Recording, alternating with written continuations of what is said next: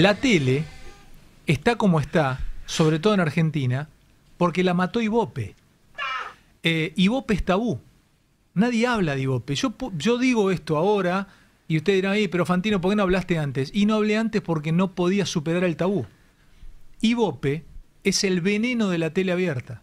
Cuando estábamos en la tele abierta no tuvimos la capacidad, tele abierta o cable, no tuvimos la capacidad de saltar ese tabú y decir, no, Ibope, mira, ¿sabes qué? No te puedo aceptar que con mil medidores me digas que mido 2.1 o que Alfa mide 53 puntos saliendo de la casa de un hermano con tus mismos mil medidores. Telefe mide siempre lo mismo. O sea, yo- y yo no, no- hablo ni por América, ni por Canal 13, ni por, ni por el Canal 9. Ahora, otra pregunta que me hago. ¿Quién es Ibope? ¿Quién es el presidente de Ibope? ¿Quién es la cara de Ibope? ¿Cómo la tele abierta sigue aceptando que una empresa protohistórica, Ibope, siga matándola así? Es triste, ¿eh? pero me da pena que nos dejemos matar por estas por esta gente de Ibope.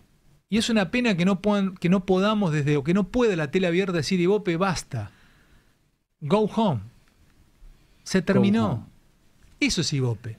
Parte de los contenidos que tenemos en nuestra televisión abierta y de cable y de la neurosis que nos produce a los que estuvimos o estamos ahí adentro es por esta gente de Ibope, que no, no tienen ni voz ni rostro. Go home. Gracias Alejandro, gracias por existir. Alguien tenía que decirlo, déjate de joder. Bueno, un Fantino que volvió con todo y volvió recargado. Volvió ¿eh? recargado, hizo, un, un- como decía Marianita, una gran luna de miel este, qué bien, postergada. Sabía que le Ale era así, Le me casaba bien. con él. Le hizo bien porque le aclaró los pensamientos. ¿viste? Es un piquito, bueno, ese igual este discurso. Lo que se perdió Miriam Alejandro Lanzoni, no lo puedo creer. Es bravo, Alejandro siempre es bravo. y bueno, Sí, pero alguien Es- que vivió es- pendiente de rating, ¿eh? Sí, sí. Desesperado. Como todos, Cuando estás adentro, Sí. sos parte de la neurosis. ¿Qué va a hacer?